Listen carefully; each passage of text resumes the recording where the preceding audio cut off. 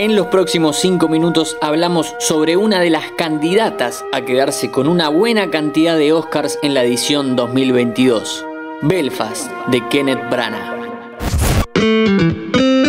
Fila 10. Bienvenidos y bienvenidas a un nuevo podcast original de interés general sobre cine y series. Surgida de la memoria del propio director, Belfast cuenta la historia de un niño de 9 años llamado Buddy, cuya infancia se ve interrumpida cuando una guerra civil entre protestantes y católicos se desata en la puerta de su casa.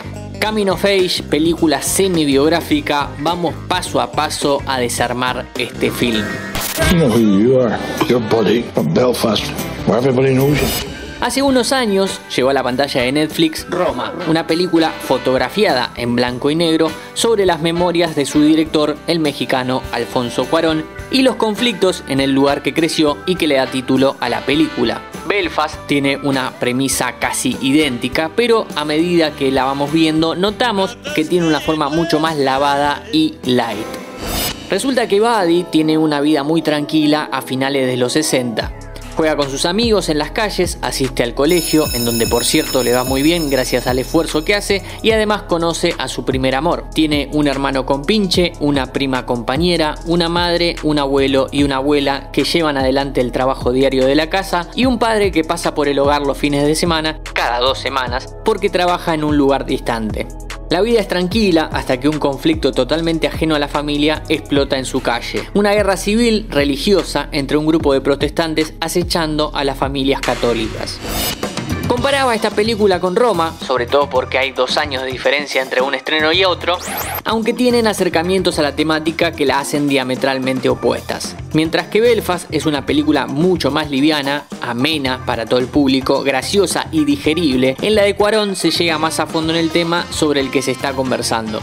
En la de Kenneth Branagh lo que termina pasando, o por lo menos a quien habla le pasó, es que te dan ganas de salir a buscar información sobre el conflicto porque el largometraje no acaricia ni la punta del iceberg. La excusa es que está contada desde el punto de vista del protagonista y, lógicamente, no se interesa mucho en entender y aprender sobre conflictos religiosos. La historia de Buddy es un camino face en medio de un conflicto bélico. Hagamos las aclaraciones pertinentes. Coming of Age es toda película en el que se cuente un paso entre una etapa de la vida y otra, de la adolescencia a la adultez o, como en este caso, de la infancia a la adolescencia. El motivo por el cual se pasa puede ser algo interno, como un cambio físico, o por un factor externo, tal como la familia, los amigos, etc. En Belfast, un conflicto armado y su repercusión en lo cotidiano. ¿Es la primera película que habla sobre un cambio de etapa y un conflicto bélico? No. No. Claro que no.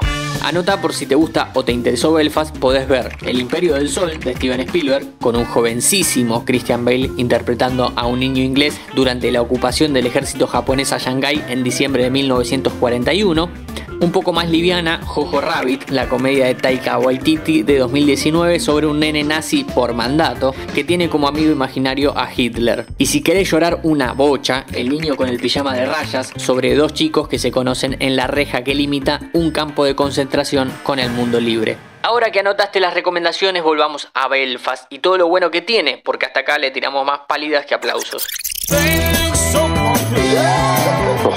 Out for you. Be good, son.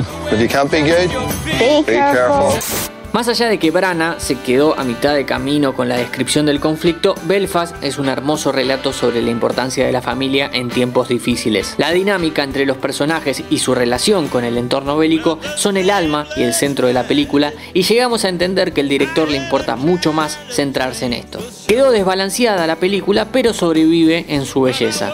El pequeño Jude Hill se lleva toda la atención siendo este un gran debut cinematográfico, aunque la gloria la comparte con una irreconocible pero siempre talentosa Judy Dench y un Jamie Dorman que parece empezar a sacarse de encima las 50 sombras de Grey y a mostrarse como el buen actor que es. Mi nombre es Matías Daneri y hoy te conté en 5 minutos sobre Belfast, candidata al Oscar 2022. Antes de deslizar para continuar con tus podcasts favoritos, seguí a Interés General en nuestro perfil de Spotify.